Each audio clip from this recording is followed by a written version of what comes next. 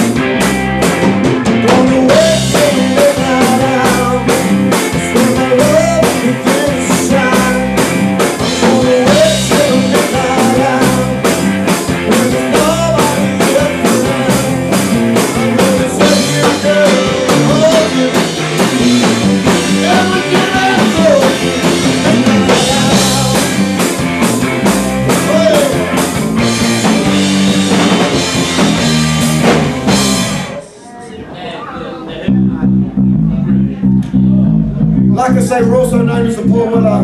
Paul Weller.